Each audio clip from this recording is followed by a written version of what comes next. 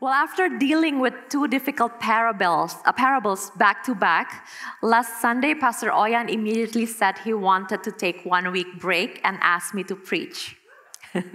At first, I didn't want to because this last week was also the first week when my master's program started the fall quarter. But then he said, Today is the World Communion Sunday, and it has been a while since he led the Eucharist. So I agreed with fear and trembling, of course. well, our text today is from Luke 17, verse 5 to 10. In today's passage, Jesus begins by comparing faith to a tiny mustard seed. But he goes on to explain that it is not how much faith you have that matters, it is how you use it. If you think this saying about faith and mustard seed sounds familiar, you're right. We also hear Jesus make this statement in the Gospel of Matthew, the Gospel that we will read for most of next year. But Matthew put Jesus in a different setting than Luke does for his teaching. In Matthew, Jesus has just cast out a demon that the disciples could not do. When they ask him why they couldn't get rid of the demon, he tells them, Because of your little faith.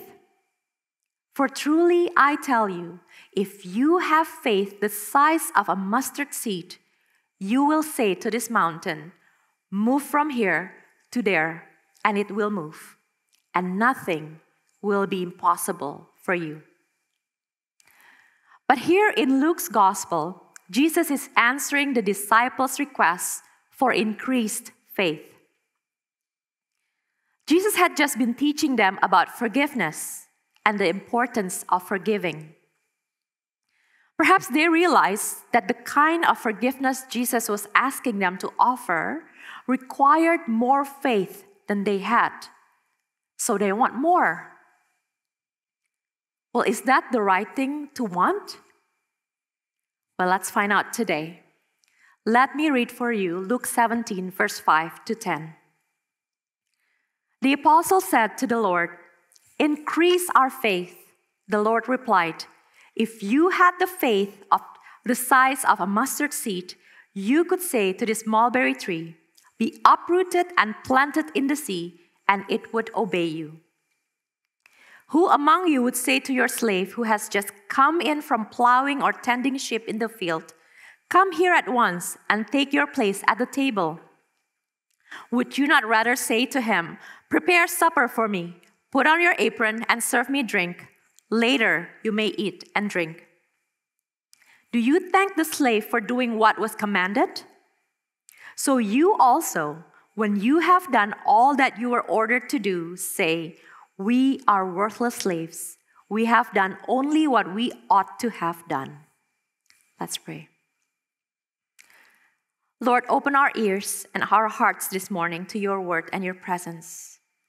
May our hearts be fertile soil where the seed that is planted will grow, and may we be encouraged and given new life. Open our lives and the lives of our church community to your word and the way of your kingdom. Amen. If I just had more faith, if I just had more faith, I think most of us have struggled with that at some point in our lives. If I just had more faith, I wouldn't have so many questions or doubts. If I just had more faith, God would answer my prayers. If I just had more faith, she wouldn't have died. He would have recovered. If I just had more faith, I would be more involved in the church. If I just had more faith, I would be a better person, a better parent, a better spouse. If I just had more faith, I would know what to do. I would handle things better. If I just had more faith, life would be different. This is actually an approach to faith that is at least as old as the apostles' own faith. It is the approach they have taken in today's gospel? Increase our faith, they asked Jesus. A few verses before our reading, Jesus had just warned them not to become stumbling blocks to others. He said, It would be better for you if a millstone were hung around your neck and you were thrown into the sea than for you to cause one of these little ones to stumble. He also just told them to forgive as often as an offender repents, even if it is seven times in one day. That is not an easy command. That will be difficult to follow. It will be a challenge to live that way. So they responded with, Increase our faith. It seems like a reasonable request. If a little is good, a lot must be better. If we can go to a fast food restaurant and ask for a supersized menu, sorry, hang on, I lost my track of um, memo, my minutes, sorry.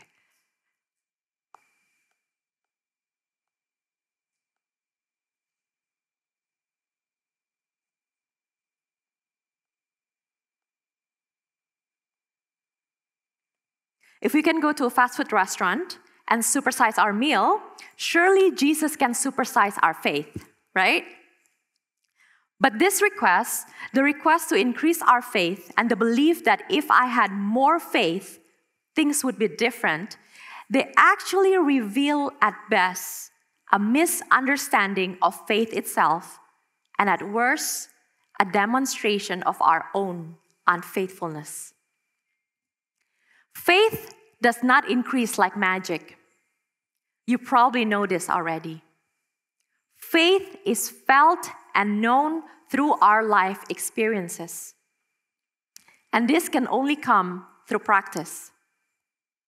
Especially in those challenging moments when faith is put to the test. When I say test, I don't mean test in the sense that you will pass or fail. I don't think that what Jesus means either. When our faith is put to the test, it simply means that we move forward with a concrete step in the justice seeking and peacemaking way of Jesus, with a discerning heart, regardless of uncertainty, worry, or fear. That is why the writer of Hebrews said that faith is the assurance of things hoped for, the conviction of things not seen. And I think that's why Jesus is very clear in his response. Faithfulness is neither about size nor quantity. If you had faith the size of a mustard seed, he said, you could say to this mulberry tree, Be uprooted and planted in the sea, and it would obey you.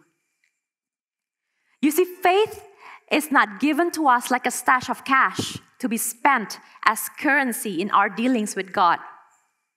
Faith is not measured out according to how difficult the task or work before us. Faith is not a thing we have or get. Instead, faith is a relationship of trust, and faith is a relationship of love which tells us that faith means opening ourselves, opening ourselves to receive another's life, and opening ourselves to giving our life to another. And that other one is Jesus Christ. That one faith relationship is what determines who we are and how we live. Faith is not about getting our facts right about what we believe. It is not about having all the data so that we can make a reasonable intellectual decision about Christianity.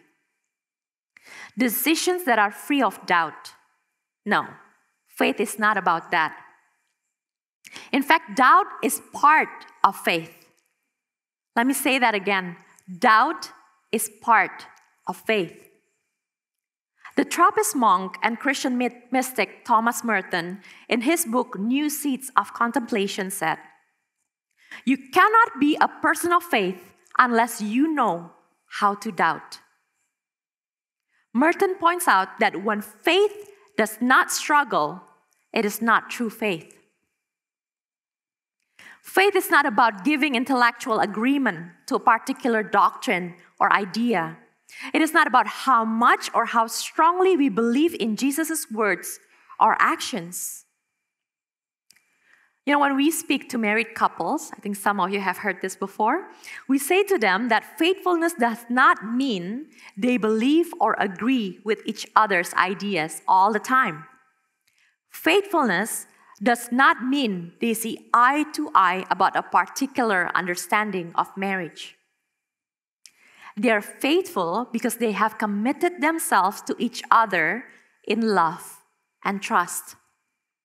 They are faithful because they continually giving their life to the other and receiving the other's life as their own. They are faithful because they can carry with them that one relationship wherever they go in all that they are and all that they do. We always tell couples, even when you are out alone with your friends, your identity is so and so husband or so and so wife. So when I go out with my ladies' friends for dinner and drink, I am never just Arlene. I am Oyan's wife. And so it is with our relationship with Jesus. Faith will not, however, change the circumstances of our lives. Instead, it changes us. Living in faith does not shield us from pain and difficulties of life. I think some of you have experienced that as well. Living in faith does not undo the past, and living in faith will not guarantee a particular future. Faith is the means by which we face and deal with the circumstances of life. Dr. Martin Luther King Jr. exemplified this when he described the fear that overcame him. In one of his collection of writings, he told the story of when he began receiving phone calls of death threats at night. One night, the phone call was particularly troubling, and King found himself exasperated, unable to sleep, and ready to quit. While offering a humble, desperate prayer, King says that he felt the presence of God like never before. And he said he heard this word speaking to him in the depth of his soul Stand up for righteousness, stand up for truth, for God will be at your side forever. As King notes, the outer situation remained the same, but God had given me inner calm. His faith doesn't guarantee a particular future. We know what happens to Martin Luther King Jr. later on.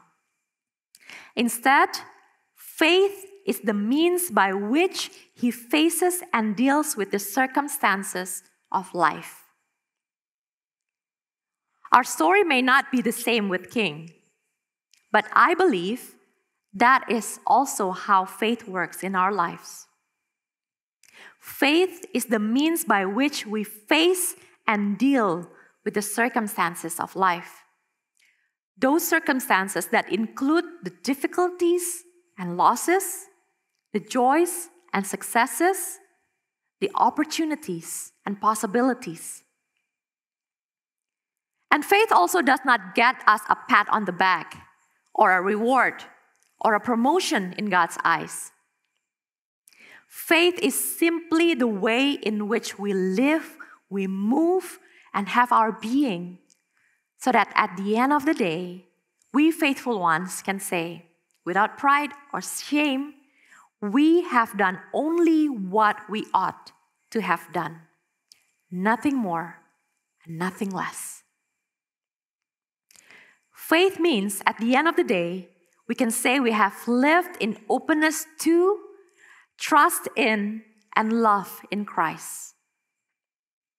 Faith means we have allowed Him to guide our decisions, our words, and our actions. And faith means we have been sustained by Him in both life and death. Faith is not, however, lived out in abstract. It is practiced day after day after day, especially in the ordinary, everyday circumstances.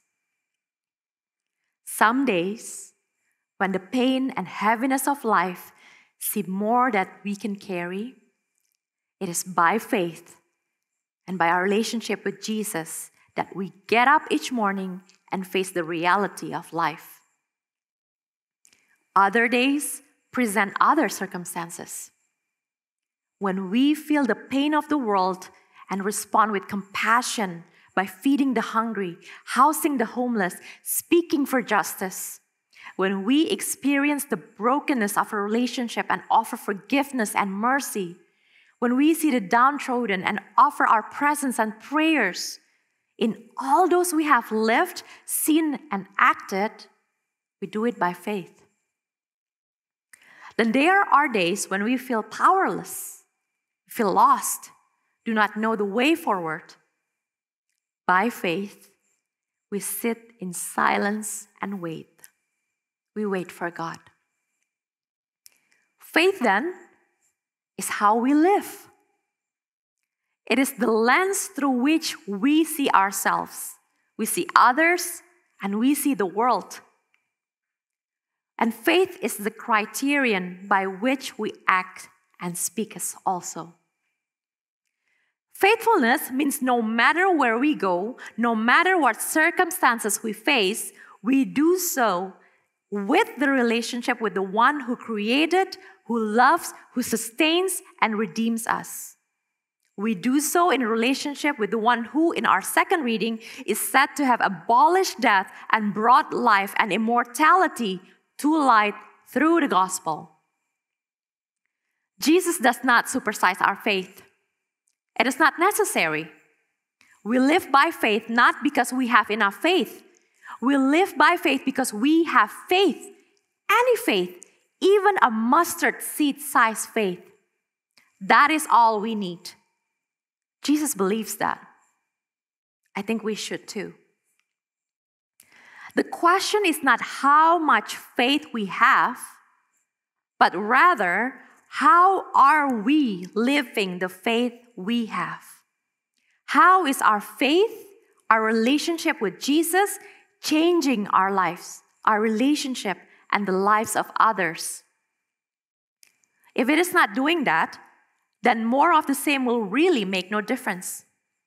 The mustard seed faith is already planted within us. It is Christ Himself in each one of us. He has withheld nothing from us.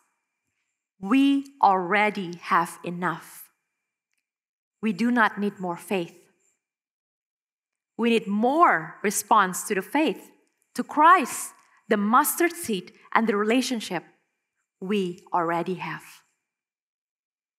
So, to close the sermon today, I will pray a prayer of unknowing by Thomas Merton. Let us all pray.